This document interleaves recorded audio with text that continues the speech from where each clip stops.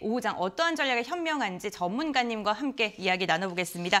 오늘 이 시간에는요. 에이제 인베스트먼트 이재규 대표님 함께하십니다. 안녕하세요 대표님 반갑습니다. 안녕하세요. 네 오늘 개인만 매수를 하고 있는 시장인데 우리 시장 좀 어떻게 바라보시는지요? 네, 새벽에 마감된 미증시가 굉장히 좋은 모습을 보였기 때문에 기대감이 좀 있었던 아침인데 현재 코스피와 코스닥 모두 약하게 진행이 되고 있습니다. 어, 그렇기 때문에 이제 투자자분들께서도 굉장히 걱정이 되실 거라고 생각을 하는데 현재 우리나라 코스피는 2,700포인트 선에서 지지를 받는 모습을 보이고 있습니다. 뭐 금일 금리 인상 이슈라든지 여러 가지 내용들이 있긴 하지만 제가 판단했을 때는 전체적인 시장의 저점 라인 때는 잡혔다라고 보고 있기 때문에 뭐 시장에 대한 걱정보다는 내가 매매를 해서 실제로 수익이 날 수 있는 업종과 종목에 대해서 집중할 필요가 있다라고 생각합니다. 그래서 오늘 아침에 이제 시장에서 전체적으로 좀 이슈가 되고 있는 부분이 전일 미증시에서 반도체가 올라왔다라는 것과 그리고 뭐 아침에 나왔었던 기준금리 인상, 우리나라 시장의 기준금리 인상, 그리고 유가가 이틀 연속 올라왔었다라는 부분인데 제가 오늘 좀 시청자분들께 말씀드리고 싶은 것은 이 유가 상승에 대한 부분입니다. 이 유가가 상승했다라고 해서 무조건 재생에너지 관련주들이 올라간다라는 것은 아니지만 지금 어, 이 유가가 상승한 원인이 지난 2월부터 시작된 러시아의 우크라이나에 대한 침공이죠. 그래서 러시아가 우크라이나에 침공을 하면서 그로 인해서 유가가 상승을 하게 된 겁니다. 그렇기 때문에 미국이나 유럽은 이 러시아에 대한 제재를 할 수밖에 없는데 제재를 가하게 되면 유럽 국가들 같은 경우는 러시아산 원유라든지 천연가스라든지 석탄에 대한 수요가 많았었던 상태이기 때문에 에너지 수급이 불안정이 생길 수밖에 없는 상태입니다. 그렇기 때문에 유가가 상승했기 때문에 무조건 재생에너지 관련주가 움직인다라는 것은 아니지만 지금 이 흘러가는 흐름 자체를 보면 유럽에서 이 재생에너지에 대한 투자를 확대할 수밖에 없는 구조로 진행이 되고 있다라고 보시면 될 것 같습니다. 최근 시장에서 많이 이슈가 되고 있는 다른 종목군들도 많지만 어, 그래도 이 재생에너지에 대한 관심이 필요할 거라고 필요하기 때문에 제가 오늘 좀 설명을 드려보는데 그 러시아에서 가장 많은 에너지 수급을 해왔었던 독일 같은 경우는 원래 2035년, 2050년까지 이 재생에너지 비율을 100%까지 늘리겠다라고 어, 정책적으로 준비를 해오고 있던 상황에서 러시아발 악재가 터진 이후에는 2035년까지 재생에너지를 100%까지 만들겠다라고 계획을 변경하고 있다라는 거죠.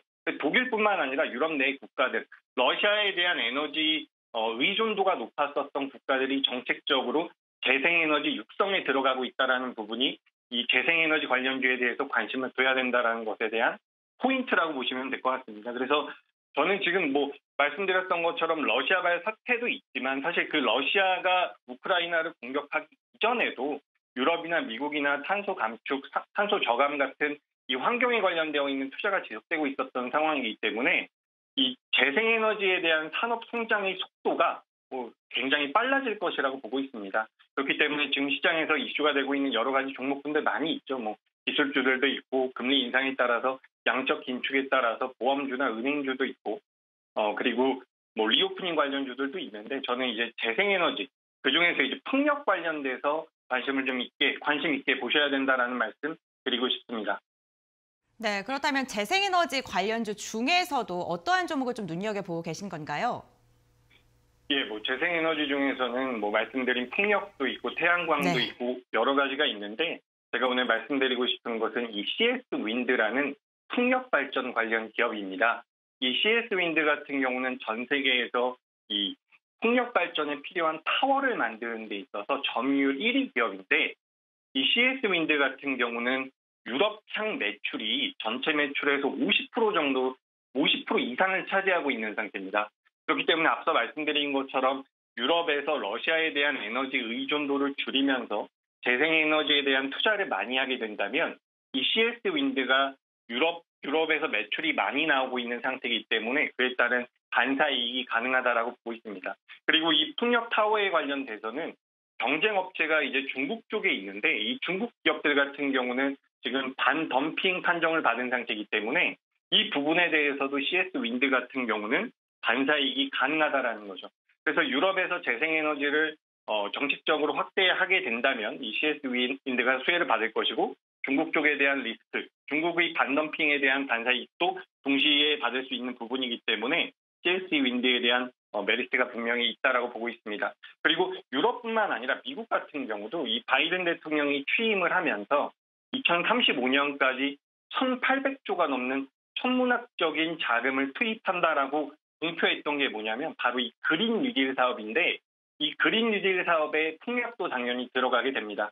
그렇기 때문에 유럽이나 미국 그리고 전 세계적으로 이 재생에너지에 대한 수요가 늘어날 가능성이 높고 그렇게 된다면 CS 윈드의 이 풍력 타워 매출은 더욱더 늘어날 가능성이 높겠죠. 그리고 풍, 그 미국 내에 이제 풍력 타워 공장까지 인수를 하면서 미국 내에서 매출도 계속해서 늘어날 가능성이 높기 때문에 CS 윈드 같은 경우는 올해에도 굉장히 큰 폭의 성장이 예상되는 상태입니다.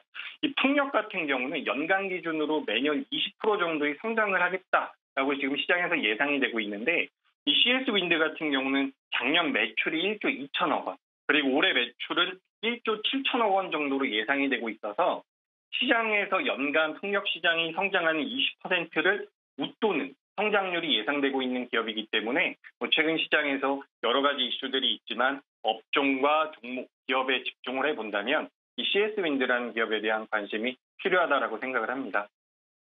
네, 시장 참 다양한 이슈를 안고 박스권에서 답답한 행보를 이어가곤 있지만 저처음 이탈에 대한 그런 걱정은 조금 덜 하셔도 좋겠다라고 말씀을 해주셨고요.